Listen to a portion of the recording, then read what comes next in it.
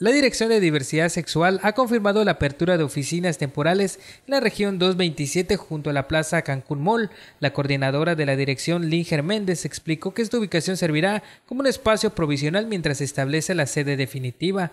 Méndez detalló que las oficinas permanentes estarán situadas en el primer cuadro de la ciudad, específicamente entre la avenida Tulum y la avenida Nader, en el antiguo espacio de Cipina.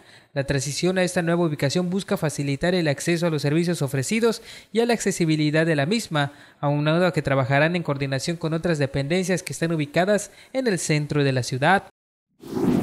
Nuestras oficinas eh, va algo muy chistoso porque nos habían puesto en la 227 al lado de la mall, donde está el CEDIS pero nos sabían, ya nos comentaron que nos van a volver a mover. Es por el momento, estamos viendo la opción de la avenida con el apoyo de nuestra secretaria Berenice Sosa, que nos van a pasar de esa zona por el palacio, porque obviamente necesitamos trabajar de la mano con todas las dependencias, estaban buscando esas acciones para que podamos estar, pero por el momento vamos a estar en la 227, ya después, en un cambio, obviamente informaremos dónde van a estar nuevamente instaladas las oficinas. Pero se buscaría que sea en el primer cuadro de la ciudad. Se buscaría, de hecho aquí cerquita ya donde está estaba Cepina. Ah. Entonces ahí vamos a estar instaladas completamente las oficinas. Pero por el momento, la 227, ahí vamos a estar recibiéndolos con los brazos abiertos con todos los proyectos que tengamos.